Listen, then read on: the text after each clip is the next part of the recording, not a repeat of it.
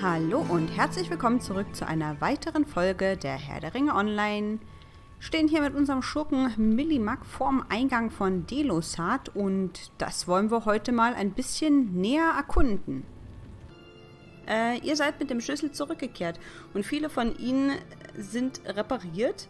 Die Geheimnisse von Delosat liegen nun in Reichweite und Narchuil auch. Na, noch wissen wir nicht, ob der da ist, dieser Ring.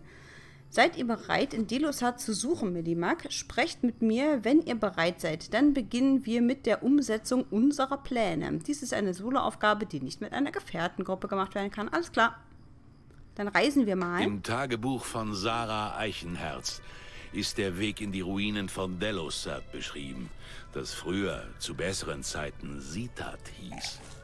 Hierhin hat die Suche nach Narchuil geführt. Aber zu welchem Zweck? Was haben diese verwitterten Steine gesehen? Tja, das werden wir hoffentlich bald in Erfahrung bringen.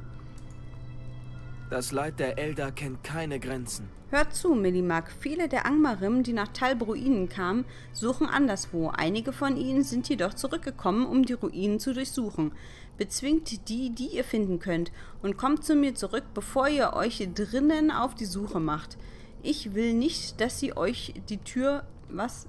Dass ihr euch die Tür öffnen sehen. Okay, besiegt Angmarim sechs Stück. Dann wollen wir doch mal gucken, ob wir die...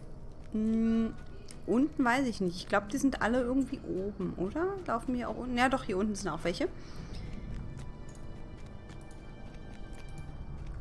Servus!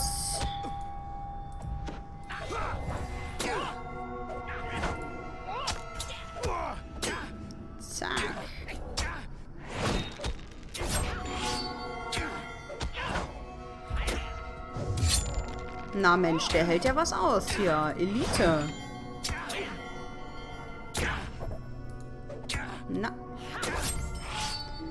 Okay, Nummer 1. Ich weiß nicht, ob die alle Elite sind. Vielleicht, ja. Schon möglich. Hier war keiner. Da unten sind dann wahrscheinlich noch mehr. Ich mache hier einfach mal die Runde. Okay, der, den wie ich jetzt sehe, den roten Punkt, der scheint über mir zu sein. Hier ist auf jeden Fall noch einer. Nehmen wir gleich alle beide? Ja, komm. Egal. Das schaffen wir schon. Ich meine, wir können ja erstmal einen wegrätseln.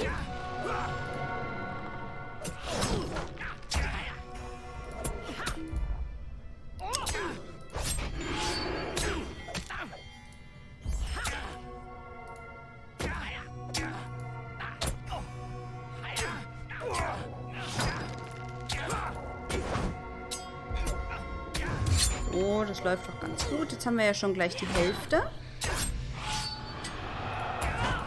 ich bin mir nicht ganz sicher, ob mir die rote oder die blaue Skillung besser gefällt. Hm. Ich glaube fast, die blaue gefällt mir besser. Ich habe... Ich dachte erst, die würde deutlich mehr Schaden machen. Ich bin mir da jetzt nicht mehr ganz so sicher. Aber vor allem gibt es hier ja auch normale Fähigkeiten, die dafür sorgen, dass die Gegner betäubt werden. Bei den anderen, da muss ich immer entweder das Gefährtmanöver oder das Fragen oder sonst irgendwas. Hä? Weil der vorher... Ach so, wir sind einmal rumgelaufen. äh, ja. Um äh, die, die Gegner zu betäuben. Aber jetzt gibt es hier ja auch irgendwie Sachen, die das können. Schneller Angriff, der die Effektivität eines bestehenden Risikos erhöht. Okay. Äh, was macht das hier? Erhöht ein bereits bei eurem Feind eingegangenes Risiko auf Stufe 6. Hä, verstehe ich nicht. Wenn kein Risiko besteht, wird das Schadensrisiko auf höhere Stufe eingegangen. Schaden 254 bis 313 Westernissen kritische und zerstörerische Treffer auf den Gegner angewandt. 40% Risikochance Dauer. Hm, verstehe ich alles nicht so ganz. Wir nehmen jetzt erstmal den hier. Ich klicke halt einfach drauf. Es macht halt das, was es macht. Ich habe halt nicht den Eindruck, dass ich... Also erstmal habe ich hier, glaube ich, eins, zwei Fähigkeiten mehr. Und ich habe eben nicht den Eindruck, dass ich ständig irgendwie auf irgendwelche Abklingzeiten warten muss. Die hier vorne, die benutze ich ja schon gar nicht mehr. Großartig brauche ich gar nicht mehr. Oh, hier geht's auch rein. Aber es ist nicht die Tür, durch die wir müssen, soweit ich weiß. Aber da scheint einer drin zu stehen. Ähm... Oh, ah, ah, ich wollte gerade sagen. Oder doch nicht.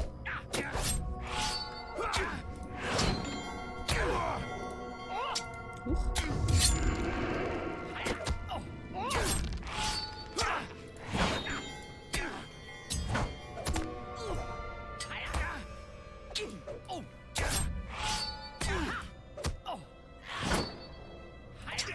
Schon. Gib auf. Sehr schön. Okay, wir brauchen noch einen. Da drüben scheint irgendwo noch einer zu sein. Ja, der hier.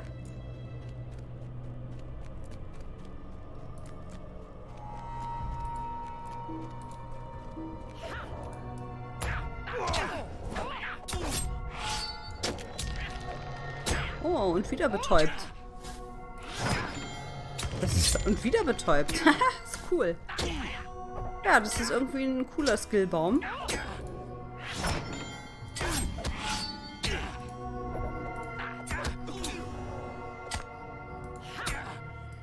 Wieder betäubt.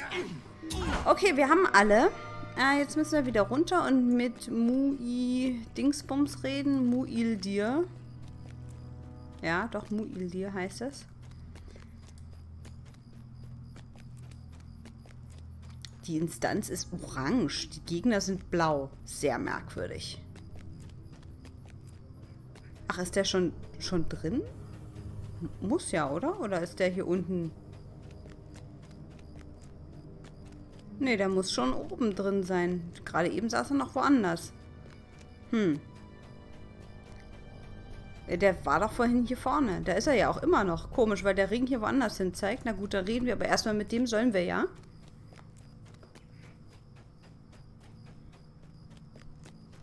Mein Herz kann heute nicht singen. Sehr gut, Millimack. Nun solltet ihr bei der Untersuchung der Ruinen nicht gestört werden. Noch ein Hinweis, bevor ihr euch der Tür zuwendet. Delosat ist ein Ort aus längst vergangenen Zeiten und die Erinnerung an etwas Böses haftet noch immer an seinen Gemäuern. Ich befürchte, dass einst Schreckliches von hier ausging und möchte euch ans Herz legen, dort drinnen einen kühlen Kopf zu bewahren. Was soll das denn heißen? Tun wir das denn nicht immer? Ähm, untersucht alles, was euch ungewöhnlich vorkommt. Ich nehme an, dass sich die Erinnerung an das Leid, das über diesen Ort liegt, in irgendeiner Weise zeigen wird. Erkundet so viel ihr könnt. Aber bleibt auf der Hut. Ein solcher Ort zieht finstere Kreaturen an, gegen die müsst ihr gewappnet sein. Ich werde hier draußen Wache halten, natürlich, wo sonst, damit keine Feinde in Dilosat eindringen, während ihr drinnen weilt. Pah, dass ich nicht lache. So, wir sollen ungewöhnliche Gegenstände untersuchen. Mach ich. Jetzt müssen wir hoch, dann kriegen wir hoffentlich die Tür auf mit dem richtigen Schlüssel. Und dann werden wir ja sehen, was wir da sehen werden. Da wird uns, glaube ich, so einiges klar werden. Also vieles von dem, was ich euch schon erzählt habe, ne? Na? Lass mich rein. So. Es ist etwas feucht und etwas zugewoben. Wir sehen hier ein Kohlenbecken.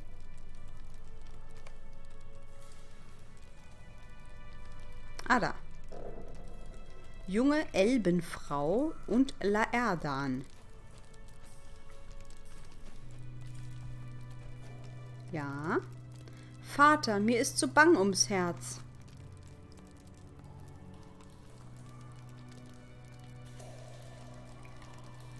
Kann, kann weitergehen. äh, wie bin ich hierher gekommen? Ich kann mich nicht daran erinnern. Hab keine Angst, Nameleth. Ich sag ja, das N steht nicht für Narchuil. Ich werde es nicht zulassen, dass man dir weiteres Leid antut.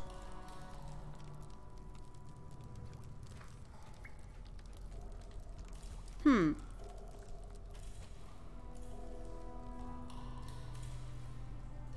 Oh, Würmchen.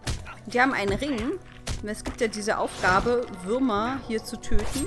Aber ich weiß nicht, wie viele wir davon jetzt hier kriegen. Kriecher, 10. Naja, ich nehme es mal an. Vielleicht werden das hier ja 10 Stück.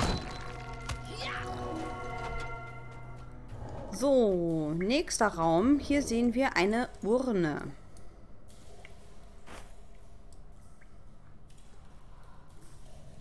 Ah, hört mir ganz genau zu, Sarah.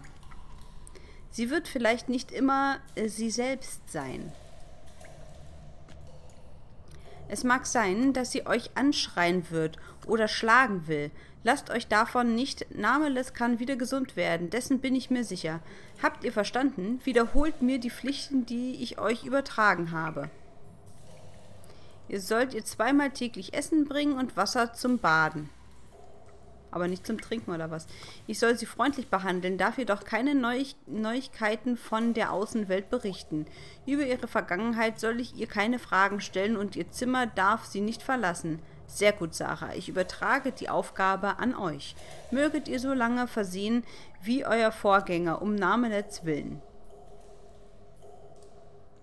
Mhm.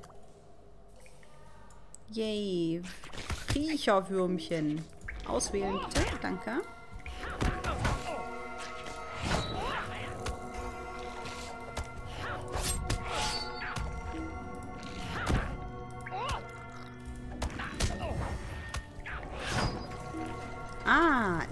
Sich eine Tür. Umgefallenes Kohlenbecken.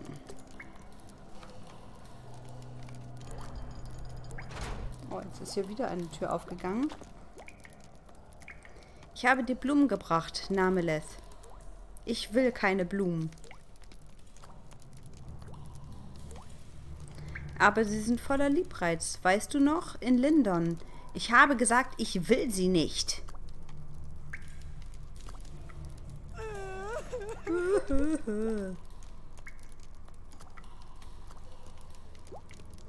Ich habe keine Erinnerung an Lindon. Ich erinnere mich nur an dunkle, an Geschrei erinnere ich mich und an Klang von Schwertern. War ich in einer Schlacht? Ich erinnere mich nicht. Ein Krieger war da. Ich kann sein Gesicht nicht sehen. Ich würde alles dafür geben, mich an Blumen erinnern zu können.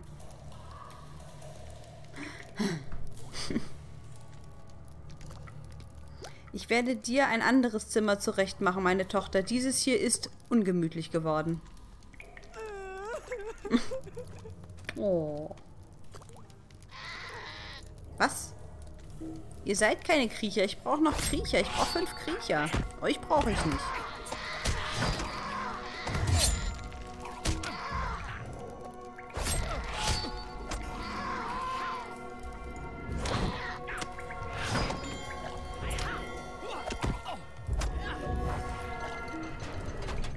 Klick, klick, klick. Okay, das Tor ist wieder auf. Wir können wieder rausgehen. Äh, dafür ist dieses Tor aufgegangen.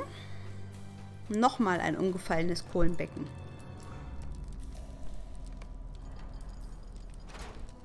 Tür zu. Ah, oh, oh. Was? Slavak und Mura. Und natürlich Mordirit. Doppelt so groß wie alle anderen.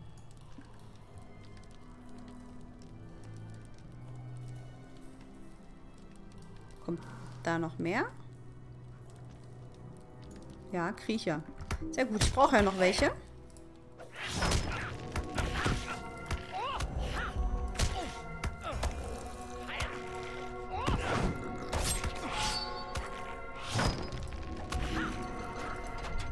Türchen auf, Türchen auf. So, zwei brauche ich noch. Vielleicht kommen die ja hier noch. So, hier rum. Da liegt ein äh, Bücher liegen hier.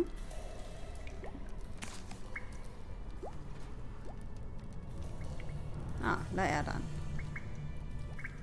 Sarah Eichenherz. Laerdan, ich hätte nicht gedacht. Was habt ihr denn da, Sarah? Sie ist so einsam, Laerdan, und hat um Bücher gebeten. Ich dachte, Bücher, ich habe doch euch ausdrücklich ans Herz gelegt, so etwas nicht zu tun.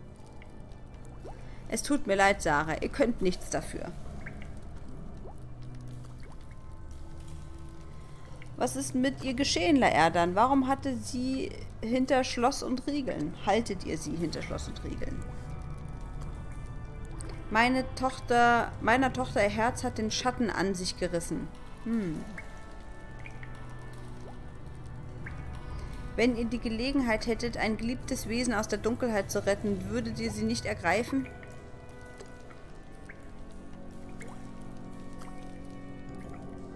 Gibt es denn niemanden, der euch helfen könnte? Die Elben... Ihr müsst, ihr wüsste nicht, was meine Leute tun würden, wenn sie erführen, dass Namelet am Leben ist.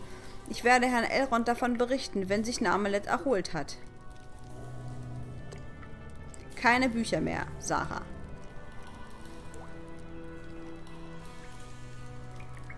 Hm. hier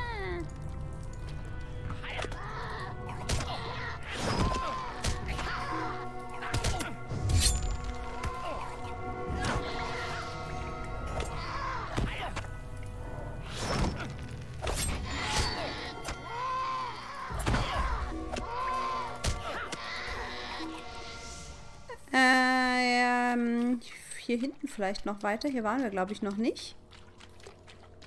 Pitch, patsch, pitch, patsch. Nee, sieht aber nicht so aus. Oder kommt man hier irgendwo durch? Hm, nö.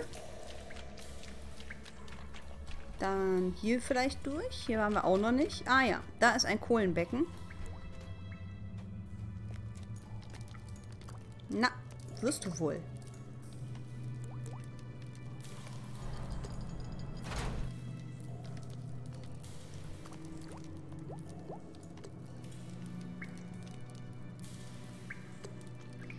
Werde nichts von dem essen, was mir diese Eichenherz bringt.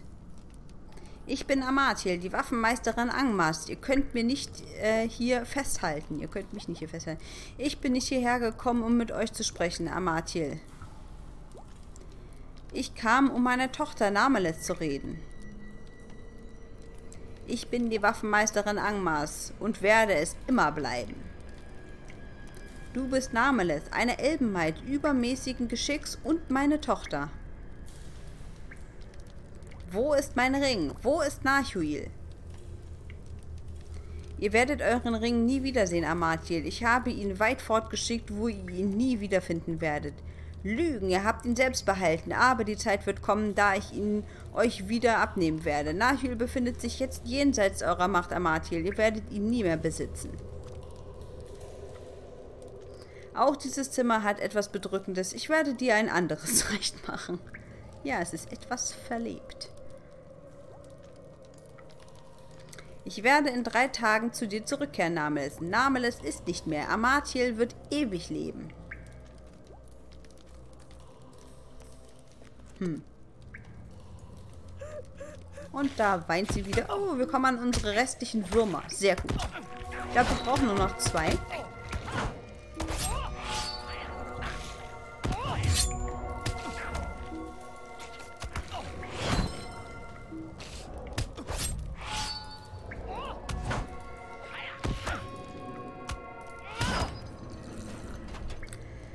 Tür auf, untersucht ungewöhnliche Gegenstände nach wie vor, aber hier waren wir jetzt durch, ne? Es geht hier auch nicht weiter. Ne, dann sind wir, müssen wir wahrscheinlich dahin, wo ich gerade eben schon war, wo es nicht weiterging. Machen wir hier mal. Ach so, ist schon weg. Naja, zu spät.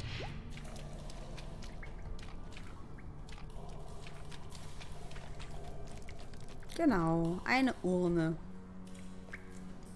Ich finde, die Zimmer sehen irgendwie alle gleich aus. Okay, hier hat sie einen Tisch und einen Hocker. Na, meinetwegen.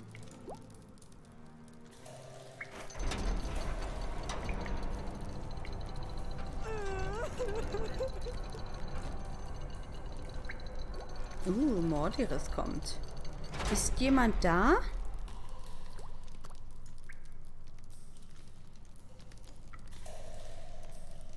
Seid gegrüßt, Amathiel, Waffenmeisterin Angmars. Kommt mir nicht zu nah. Vater, Sarah. Angmar hat euch vermisst, Amathiel. Gar viele Jahre sind ins Land gegangen, seit ihr uns genommen wurdet. Und doch seid ihr noch immer seine treue Dienerin, nicht wahr?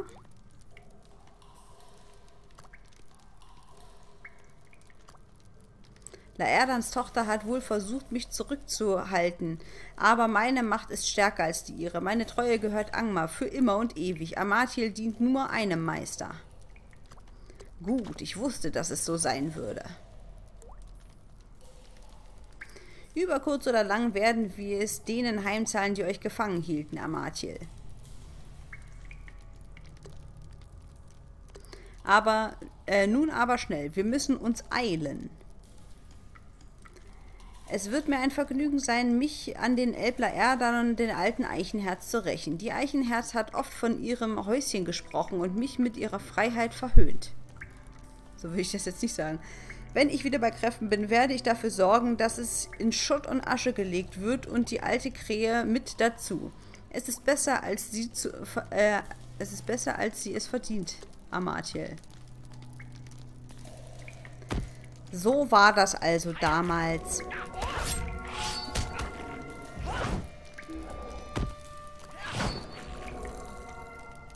Darf ich wieder raus? Willkommen in Sitat, Millimak. Diese Mauern haben gar viel gesehen, nicht wahr? Wer ist denn hier? Ah, Mordrampor. Ich habe eine Nachricht für euch. Wir haben Narchuel gefunden. Oh, super. Leb wohl, Dummkopf. Wir werden uns nicht wiedersehen. Na, mal gucken. Hilfe. Hm. ähm. Ah, da kommt schon wieder einer. Millimark, Millimark. Äh, reicht mir geschwind die Schlüssel, damit ich das Tor öffnen kann. Ach, danke. Auf meiner Seele liegt ein Schatten. Millimark, ist alles in Ordnung. Der schwarze Numenore ist vor Delosat aufgetaucht und ich musste mich so schnell wie möglich verstecken.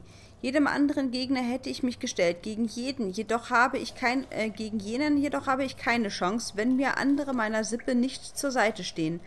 Er kam zur Tür und ging hinein, und ich folgte ihm heimlich, immer in den törichten Hoffnung, dass ich mich ihm, falls nötig, entgegenwerfen könnte. Es läuft mir kalt den Rücken herunter, wenn ich daran denke, was er mir hätte antun können. Ja, und mir vor allem, hallo, wäre ich entdeckt worden. Lasst uns diesen Ort verlassen.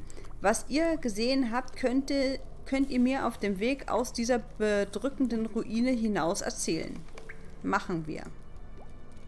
Lasst uns fortgehen von hier. Düstere Erinnerungen umhüllen die, diese Gemäuer äh, wie ein Leichentuch und beunruhigen mich. Die Waldläufer von Evenim trauern um diejenigen von ihnen, die getötet wurden, als Mordrambor von Tenodir geflohen ist. Inzwischen suchen die Angmarim in der Wildnis nach Narchuil, Amartils Ring. Ich fürchte, Amartil hat bereits entdeckt, wo Narchuil ist und damit den Untergang des Nordens besiegelt. Hm. Na, hoffentlich nicht. Sprecht mit Candeles. Ja, also wieder nach da oben. Wir sehen uns da gleich. Und da sind wir auch schon wieder oben. Vielleicht sollte man einfach meine Strickleiter von der Seite runterlassen. Ich meine, es ist ja gleich da. Hm. Naja. Was benötigt ihr? Was ist geschehen, Milimak? Wieso ist euer Gesicht von Sorge gezeichnet? So, was kriegen wir denn jetzt hier? Entweder nochmal einen Umhang oder einen Ohrring. Hm. Ja, vielleicht. Oder ein Armband. Ne, gut. Hört meine Worte. Buch 11, Kapitel 13, Laerdans Versagen. Ihr sagt, dass Amathiel Truppen, äh, dass Amathiels Truppen Narchuil geborgen haben. Naja, das haben die behauptet. Das sind schreckliche Neuigkeiten, Millimak. Sie äh, untergraben alles, was wir bewerkstelligen, zu bewerkstelligen suchten. Herr Elrond muss es erfahren, sucht nach ihm in der Bibliothek von dem Ladris und bringt ihm diese düstere Kunde ebenso wie das Tagebuch von Sarah Eichenherz. Wenn irgendjemand weiß, was zu tun ist, dann ist er es. Hey, dafür kriegen wir das hier. Eine Kette, die sogar Rüstung hat. Nicht schlecht. Okay, machen wir. Dann, äh, ich glaube, es gab hier eine Schnellreise. Wir sehen uns gleich in der Bibliothek. Und da sind wir auch in der Bibliothek. Hier ist der Elrond. Werdet ihr uns ein weiteres Mal eure Hilfe gewähren? Eure Geschichte erfüllt mich mit Trauer, Millimak. Namelets Untergang ist eine traurige Geschichte, die nur wenige kennen. Und wenn, dann auch nur bruchstückhaft. Von ihrer Gefangenschaft bei Laerdan nach der Schlacht von Von Ost wusste ich nichts. Es betrübt mich, dass Laerdan glaubte, ich würde nicht dulden, dass Namelet am Leben bleibt. Die Elder erschlagen keine Gefangenen. Sie wären also, sie wäre also sicher gewesen in meinem Haus, auch als Amathiel. Ich glaube, wir können uns ausmalen, welch trauriges Schicksal Sarah Eichenherz erlitt, die letzte in einer langen Reihe von Bewachern Namelets. Daran, dass sie die Tochter Laerdans gütig behandelte, habe ich keinen Zweifel, doch ihr Lohn war Verzweiflung und mehr als das. Amathiel lehrte die, lehrte die dunklen Künste von einem grausamen Herrn und es sieht so aus, als habe sie das Antlitz ihrer Gefangenen angenommen. Äh, ein edles, äh, ein elendes Schicksal. Ich bin mir eines weiteren Punktes sicher, Millimak. Angmar hat Narchuil noch nicht zurückgewonnen. Die Wege des Feindes sind Wege der, der Täuschung. Gebt euch nicht der Verzweiflung hin. Wenn Narchuil gefunden wurde, hätte Amatil ihre Helfer zurückgerufen.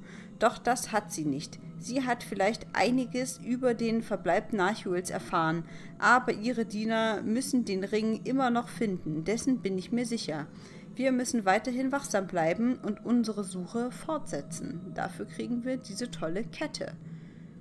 16 Vitalität, Wille, maximale Moral. Nicht verkehrt. Gibt sofort Moral. Mhm. Sehr schön. Dann würde ich sagen, wir legen das Ding an, denn da er uns nicht direkt wieder mit einer Folgeaufgabe betraut, nehme ich doch mal ganz, ganz stark an. Wir haben dieses Buch abgeschlossen, denn hier ist ja nichts mehr und können jetzt mit Hoffnung dem nächsten anfangen. ist nicht vergeblich. Buch 12, Kapitel 1. Elrons Bitte. Ja, schon wieder zu Karneglatt. Hm, das machen wir aber dann beim nächsten Mal. Ich lese es jetzt nur noch mal vor. Obwohl ich glaube, dass Angmar Narchuil noch nicht zurückerobert hat, so wird es bald etwas über seinen Verbleib erfahren, wenn nicht durch die lange Suche selbst, dann vielleicht von Laerdan. Die Folter durch den Feind kann den Geist wie den Körper versehren, äh, und Laerdan verfügt über großes Wissen. Ich möchte euch diese Aufgabe anvertrauen, Millimark. Kehrt zu Karlenglad nach Evendim zurück und sucht Laerdan. Mag sein, dass seine Zeit in Mittelerde bereits ein vorzeitiges Ende gefunden hat.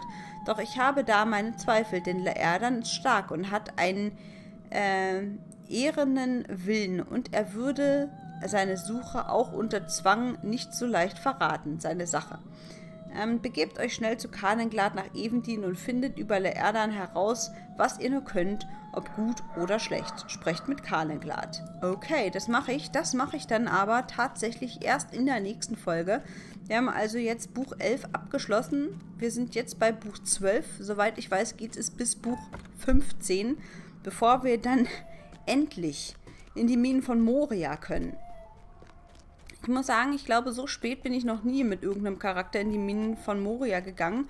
Allerdings habe ich auch selten äh, den gesamten, das gesamte Buch 1, ja, also der Schatten von Angmar, beendet, bevor ich nach Moria gegangen bin. Meistens bin ich halt direkt nach diesem Prolog von Moria nach Moria gegangen, also spätestens mit Level 50 und ähm, habe das andere, wenn überhaupt, dann später gemacht. Gut, dann würde ich doch sagen, dass an dieser Stelle die Folge wieder zu Ende ist. Ihr könnt mir wie immer gerne ein Like da lassen oder ein Abo für den Kanal und wir sehen uns dann beim nächsten Mal, wenn es wieder heißt Let's Play der Herr der Ringe online. Bis dann, ciao, ciao.